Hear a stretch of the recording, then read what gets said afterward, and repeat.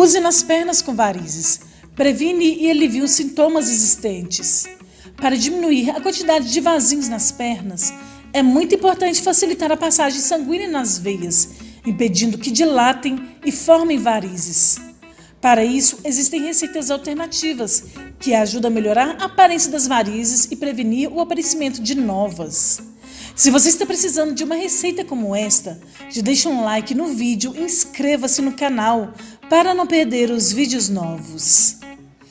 Esta é uma receita natural exclusiva para uso tópico, ou seja, para ser aplicada nas pernas. A receita ajuda no fluxo sanguíneo no local da aplicação, fazendo com que as varizes melhorem a aparência, previne e melhora sintomas como dor, queimação, formigamento e sensação de pernas pesadas. Anote a receita: uma colher de sopa de folhas de sálvia. A sálvia precisa ser a sálvia comestível para ser aplicada nas pernas. Você encontra a sálvia em muitos supermercados ou em lojas de produtos naturais. A sálvia é um poderoso estimulador sanguíneo na área que é aplicado. Ajuda a prevenir os sintomas incômodos das varizes existentes. 100 ml de água fervente. Vire a água sobre a sálvia e aguarde por 5 minutos. Feito isto, coe. Vire esse líquido dentro de um pote com tampa e acrescente uma colher de sopa de azeite de oliva extra virgem.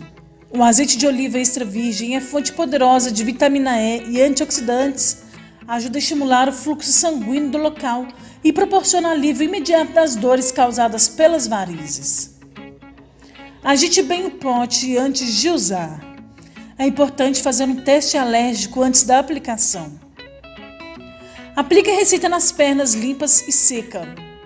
Faça uma leve massagem de baixo para cima, a fim de ajudar o fluxo sanguíneo das pernas. Faça isso ao menos uma vez ao dia, até que os resultados sejam observados. Se você gostou desta informação e se gosta de dicas caseiras e naturais, não se esqueça de deixar o joinha no vídeo, inscreva-se e ative o sino para não perder os vídeos atualizados.